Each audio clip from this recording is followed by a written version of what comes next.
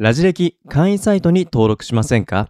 月1ドルからラジ歴の活動をサポートいただけるサポート会員だけでなく、無料会員も募集しています。番組概要欄に記載の会員登録フォームからぜひ登録をお願いします。リート、ソッシーのラジオ、歴史小話、じゃがじゃがじゃがじゃがじゃが。思わずシェアしたくなる歴史の話。ということで、今週もね、ラジオ歴史小話をやっていきたいと思いますけれども、はい。まあ、なんでしょうね。こう、最近思うのは、まあ、都知事選もこの前ありましたし、うん。そうですね。はい。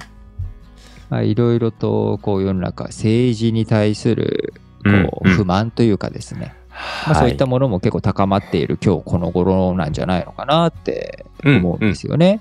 そうですね。不満。まあ、その都知事選もあった中で、まあ、うん僕ももちろうんん投票は行ったんですけれども、この、まあ、一票で本当に何が変わるのかって気持ちが全くないかって言ったら、まあ、多少やっぱあるなと。でも、行かなきゃいけないなとも思って。一票の積み重ねでね、選挙の結果が出るとはいえ、じゃあ自分の一票があったところ、とてというような気持ちもね、やっぱりなんかうんうん無力感というか、そういったものも感じたりするよね。そうですね。だからまあ、その、まあ今回ね、小池さんに、まあ、決まったっていうことですけど、何かその僕一人の庶民の声が小池さんに届くのかっていうふうに聞かれたら、いや、ちょっと届かなそうな、遠い雲の上のような、んそういうなんか距離感だなっていう感じで、うん、なんか漠然と政治への不満っていうのがちょっと募る感じは否めないな。そんな気持ちですね。うん。そんなソッシーはね、ぜひはい、ぜひ。古代ローマ市民になろう。ローマ市民ね。ああ、いいですね。ローマ市うん民、なりましょう。いいじゃないですか。なろうなろう、うんローマ市民になろういいこと言ってくれたリートン。え、ローマ市民になると何が いいんでしたっけ？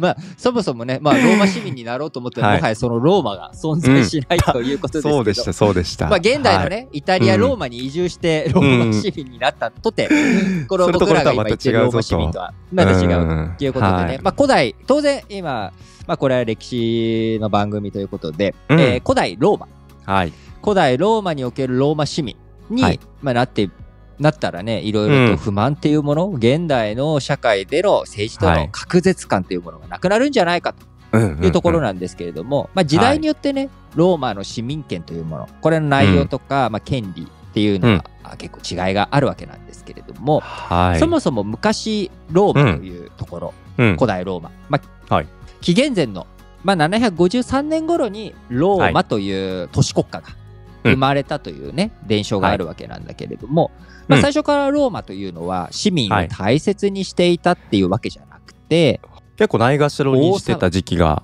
そうだね。まあ、ないがしろというか、まあ、そういう権利があったというわけでもない、なんかと。まあうん。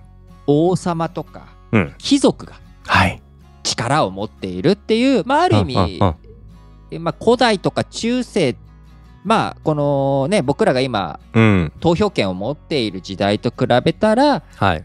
昔のことだからまうん。あ、ある意味普通はい。だよねと、うんうんうん。王様とか貴族が権力貴族が。を持ってる。まあうんそそうですね。なんか、あの、貴族が、まあ、政治を司ってるってイメージはありますし、日本においても、ね、藤原家なんていうのは、ままさにう貴族。そうだね、うん。貴族、はい。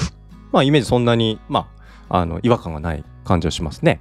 そうなんだよ。だからまあこの古代ローマっていうところ、はい。なんとなく古代ローマっていうのをイメージした時に、あのー後々パンとサーカスコロッセウムっていうのを作って、うん。パンとサーカスっていうことで、こう、国うーローマ市民っていうものが、まあ、甘やかされてというか権利をねいろいろと主張してもらえるっていう印象をね、うん。持っている人、はい。まあ、あの歴史にちょっと詳しい人だったらなんかそういうイメージっていうのがあったりするかもしれないけれども、はい。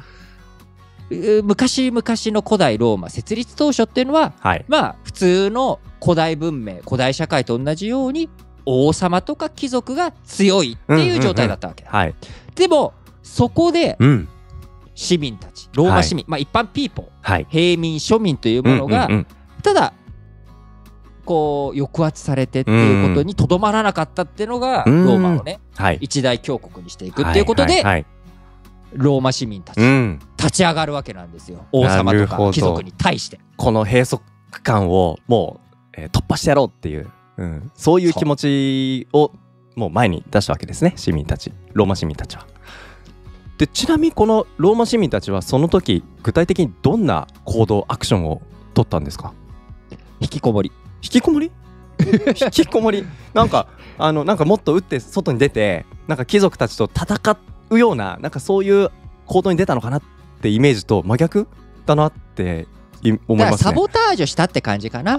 だから労働組合でああ。まあ、ストライキを起こした、うんうんうん。もうそんなこと言うんだったら俺ら何も手伝わねえぞ。ああなるほど。その市民たちとして一番その貴族たちが困ることとして何もしないっていうそういう選択が一番効果あるだろうというふうに思って。ということでなるほど。青山事件っていう事件はが紀元前494年に起きるわけなんです、うん。このもうね庶民をうん。虐げるんだったら、はい。俺らは協力しないと、うん。山にこもりますと。もうね、は貴族たちと一緒には入れないわっていうことうんうんを主張した青山事件っていう立てこもり事件が起きたわけです、あでこれは実際貴族たちも困っちゃうわけですよね。うん。まあ皆さんも想像、うんうんまあストライキを想像していただいたら分かる通り、あはい。まあ、うん。日本においてなんかストライキの成功例っていうと、まあプロ野球、もうはい。結構前に、もう20年ぐらい前になりますけれども、うん。えープロ野球がこう当時あった近鉄球団が消滅の危機を迎えた時に、まあはい。選手会がストライキを行って、うん。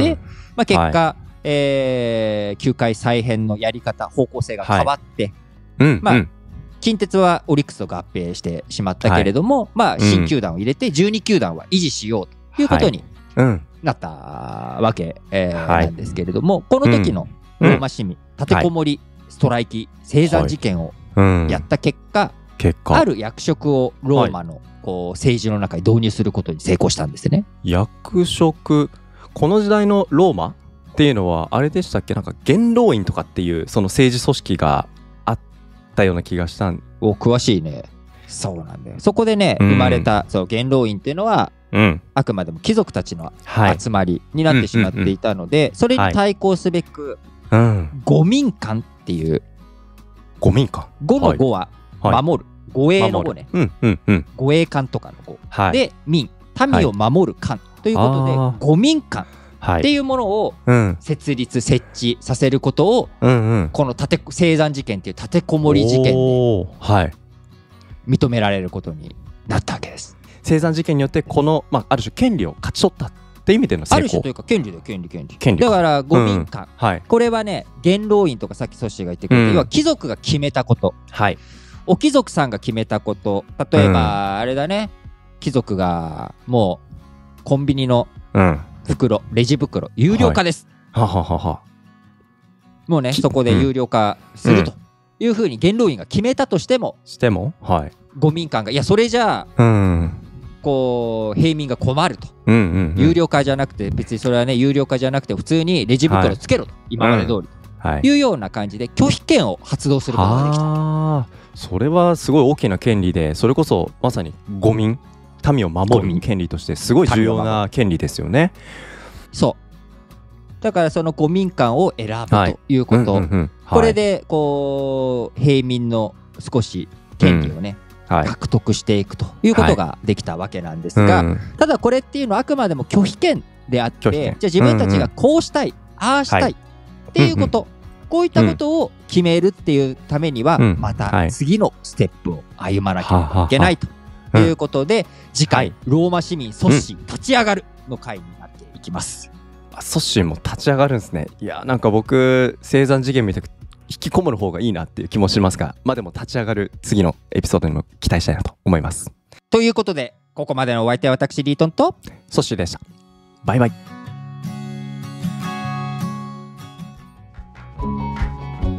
ラジ歴会員サイトに登録しませんか？ラジ歴会員サイトに登録いただくと、日本思想復習編の全エピソードをはじめ、会員限定コンテンツをお聞きいただけます。また、無料会員だけでなく、月1ドルからラジ歴の活動をサポートいただけるサポート会員も募集しています。番組概要欄に記載の会員登録フォームからぜひ登録をお願いします。サポート会員に登録した後も簡単に無料会員にプラン切り替えも可能ですのでご安心ください。たくさんの方からの登録をお待ちしています。